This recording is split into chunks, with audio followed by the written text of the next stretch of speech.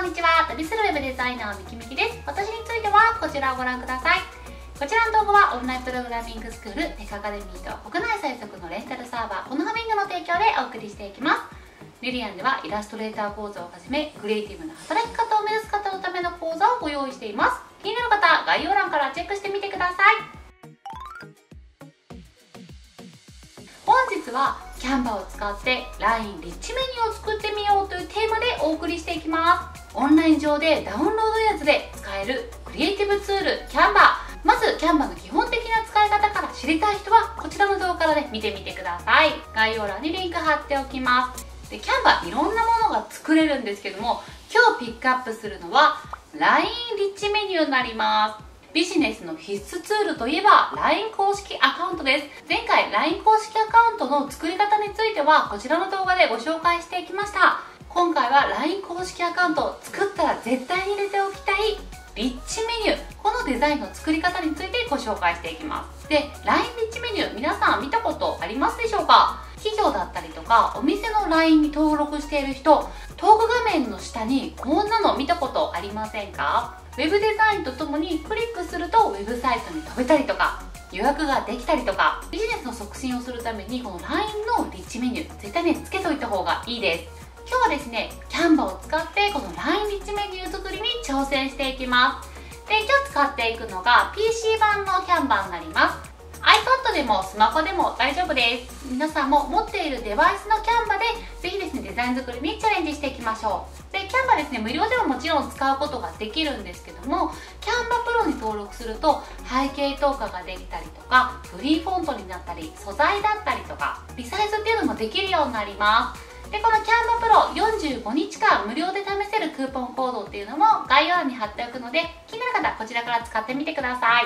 はいそれではやっていきましょう。ここからは画面を使ってご紹介していきます。はいまずですねキャンバーを開いてログインをしていきましょう。で検索のところに LINE リッチメニューっていう風に検索していきましょう。そうするとですね LINE リッチメニュー大小っていうのが出てきます。ここで大っていうのを選んでいきます。そうすると LINE リッチメニューの大きいもののテンプレートデザインっていうのが一覧で出てきます。もうデザインに自信がない人はこのテンプレートを編集していくだけで OK です。ちょっと見てみますね。もういろんなテンプレートが用意されています。例えばちょっと飲食店向けのテンプレートだったりとかあとはトレーニング系のテンプレート。あとはハンドメイド系のねテンプレートなんかもあったりしますね。いろんなテンプレートがあるのでこれを編集していくだけでも OK です。で来日メニューのサイズいろいろあります。まずベーシックなのは6分割のタイプです。あとは4分割スタイルですね。4分割も上の1つが大きくて下に3つ並んでいるタイプとか。あとは3分割タイプ。2分割タイプっていう風にいろんなサイズがあるので自分がまずですね LINE のリッチメニューに載せたい内容っていうのをピックアップしていきましょう。でこれですね6分割バージョンを作っておいてイベントだったりとか時期によって2分割に変えたり4分割に変えたりっていうことも OK です。それに合わせてキャンバーのテンプレートデザインっていうのも選んでいきましょう。今日は一番ベーシックな6分割で作成をしていきたいと思います。6分割のデザインいろいろあるんですけどもこちらのデザインを使っていきたいと思います。これはですねクリックしてあげます。そうするともうテンプレート編集できる画面になります。今文字を変えるだけでも OK なんですけどもここからですね少し今回はデザインの編集をやっていきたいと思います。まず載せたい内容っていうのを入れていきましょう。まず文字の変更からやっていきましょう。はいまずネット予約っていうところを YouTube にしていきます。で2行になっている場合はデリートで1行に変えてあげます。でちょっと位置上に上げていきますね。はいこれもちょっとね一緒に上げていきます。で2つ目がオンライン講座とかにしていきますね。入ってきました。でじゃあここですね。2行になっちゃう場合はここです。ここのとこですね。ちょっと伸ばしてあげると1行にグッと戻ります。はい。で位置を合わせます。このピンクのサジェストの線が出てくるので中心と横ですね。文字合わせていきましょう。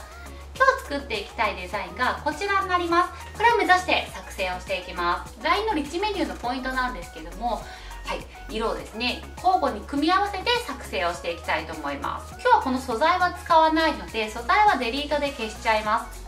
123456も入ってるの消しちゃいます。この背景の色もね一回消しちゃいます。で次ですね素材を選択します。素材を選択して線と図形っていうところからこれですね四角のものを選択しましょう、はい、四角を選択して作成していきます。でここですねサイズを合わせていきましょう。でここの色を変えたい時はですねクリックしてあげるとここに色が表示されます。これをクリックしてあげて色をですね選択していきましょう。でこれですね一番上に来ているので一番下に背景の色を移動したいです。そういう時は右クリックをして最背面に移動っていうのをね押していくと一番下に下がります。はいこれで OK です。じゃあこれはですね2つ目に移動しましょう。はい、コントロール C、コントロール V でもいいですし、これですね、ちょっとパソコンの時は裏技があって、Mac の場合はオプション、Windows の場合は Alt を押しながらこうやってね、ずらしてあげると、はい、複製することができます。これぜひ使ってみてください。で、サイズちょっと揃えます。はい、で2個目の背景は色を変えたいですここですねまた色を押してあげてこんな感じで色を変えていきましょう。ちょっとこうメリハリがついた色の方が分かりやすいです。今度は3つ目です。一番左の色からオルトまたはオプションをして複製をしましょう。上の3段の背景ができました。はいこれをですねまた複製していきます。今度はこっちですね。これが茶色になるのでここにしていきます。はいでこっちですね。複製します。はい、OK ですね。はい、できました。で、ここ背景の青色ですね。ここもちょっと変えていきたいと思います。はい、色を選択してあげていつも使っているブランドカラーっていうのをここにね登録することができます。これキャンバプロの機能になります。でこれを選択してあげてここから少し濃い色にしたいので使用中のカラーですね。ここを押してあげて少し濃いめのカラーにしていきます。ちょっと対角線上に少し濃い色になりました。で下もですね同じように変えます。さっき使った色はねここに出ているので押してあげると色が変わります。ここですね濃い色のところは色を変えた方が分かりやすいので選択した状態でここですねテキストの色これを選択してあげてこういうベージュカラーにするのか白にするのか白の方が見やすいかな。はい白に変えていきたいと思います。はいこっちもですね選択してあげて、はい、テキストの色を白に変えます。でインスタグラムも変えます。できました。じゃあですね下の文章も変えていきましょう。でここのフォントを変えたいとはですね選択してあげてここです。このフォントを変更すればフォントも変更できます。じゃあ次ですねアイコンをつけていきたいと思います。はい、見本ではですね各項目に全てアイコンっていうのを入れています。これはですねキャンバの素材を使っていきます。はい、例えばですね YouTube であればここ素材選択しますね。そこで YouTube って入れましょう。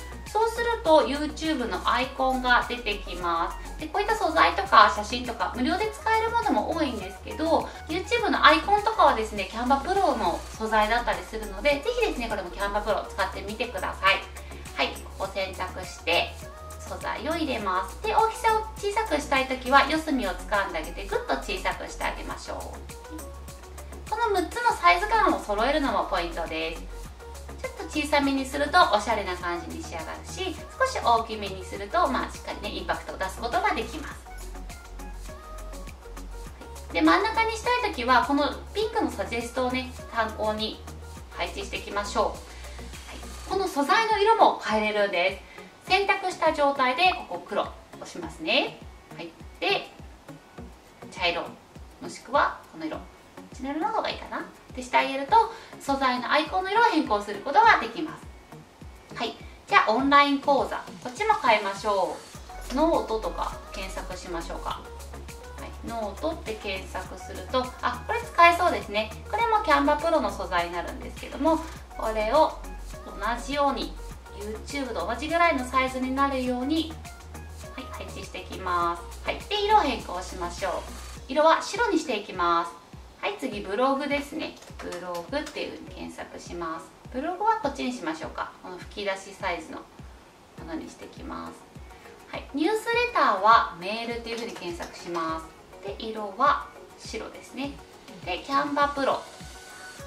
キャンバって検索してキャンバのロゴがあるんですけどもこれは色変更できないやつかな。あできますね。でちょっとこれを小さくしてここですね2色入っているので2色変更できます。青の方を選択して最初ここですねベージュの色にしてあげて文字は白で大丈夫です。こんな感じで編集ができます。はいで最後インスタグラムです。素材に戻してインスタグラムっていう風に検索しましょう。で色を変更しました。これですねデザインが完成しました。で完成したらですね次はダウンロードをしていきます。はいダウンロードはですね右上にダウンロードボタンがあるのでこれを押しますそしてピングで大丈夫ですこのピングでダウンロードはいデザイン保存しました次はですね LINE 公式アカウントに移動しましょうはい、まずはホーム画面に行きます。で、ここからですね、LINE リッチメニューを設定するときは、この携帯マークのとこにリッチメニューってあるので、これを押していきましょう。はい、そうするとですね、今表示されているリッチメニューのデザインっていうのが表示されています。新たに設定したいときは、右上に作成っていうのがあります。で、まずですね、タイトルです。これは、例えば、デフォルトとか、何かタイトルをつけていきましょう。これはユーザーには表示されない部分になります。で表示期間を選んでいきます今日から9月10日までとかねこう設定をしていきますはいでメニューバーのテキストなんですけどもこれは LINE 公式アカウントのこの部分になりますなのでメニューとかですねもしくはその他のテキストのとこで例えばチェックとかそういうふうに設定することもできます。でメニューのデフォルト設定なんですけどもこれは LINE を開いた時にリッチメニューを表示するかしないかっていうのを選ぶことができます。表示する場合は表示するに設定していきましょう。私は基本的に表示するに設定をしています。で次がですねコンテンツ設定です。ここで実際に LINE のデザインをアップロードしていきます。まずテンプレートを選択するっていうのがあります。でここでですねどの形にしていくのかを決めていきましょう。6つタイプなのか4つタイプなのかここでね選択ができます。はい。今回作っていくのがこの6つタイプになります。これを選択していきます。はい、で次背景画像をアップロードしていきます。ここを押してさっきダウンロードしたキャンバーの web デザイン。これをねドラッグするだけです、はい、そうするとですねもう反映されました。ABCDEF っていう風になっています。一つずつリンクの設定をしていきましょう。まず A です。ここタイプっていうのを選択するとリンク、クーポン、テキスト、ショップカード設定しないという風になります。で外部のサイトにリンクをしたい場合はリンクになります。リンクって押してあげて URL を入力していきましょう。例えば YouTube の自分のチャンネルにリンクしたい場合はここからコントロール C コマンド C でコピーします。はい。で URL を入力していきます。でアクションラベルっていうのはこのリンクの説明ですね。例えば YouTube 毎週水曜土曜に配信中とかこんな感じでですね。1つ目の YouTube についての説明を入力していきましょう。はいで B です。B がオンライン講座なのでこれもリンクになります。これもですね URL を入力していきます。ちょっと URL がわかんない場合はですね一旦ちょっと設定しないにしておくといいと思います。はい後で設定することもできます。設定でですねクーポンっていうのを設定するとこのクーポンっていうのもリンクとして設定することができます。あとはですねショップカードも設定していたらショップカードも設定できるのでここもショップカードだったりクーポンにリンクしたい人はこう選択していきましょう。はいそしたら保存をしていきましょう。はいこれでですね OK です。できました。で後ほど編集したい時はちょっとスクロールをしてあげるとデフォルトっていうのがあるのでこれをクリックしてあげて編集ってしてあげると編集することができます。実際の画面ではこんな感じで表示されるようになります。キャンバーを使えば簡単に LINE のリッチメニューデザインを作成できるのでぜひ実践してみてください。こちらの動画が参考になったらいいねボタンとチャンネル登録お願いします。ミキミキウェブスクールに入学をしていただき一緒にスキルアップをしていきましょう。こちらの動画はオンラインプログラミングスクールベカアカデミーと国内最速のレンタルサーバーこのハミングの提供でお送りしていきました。また次の動画でお会いしましょう。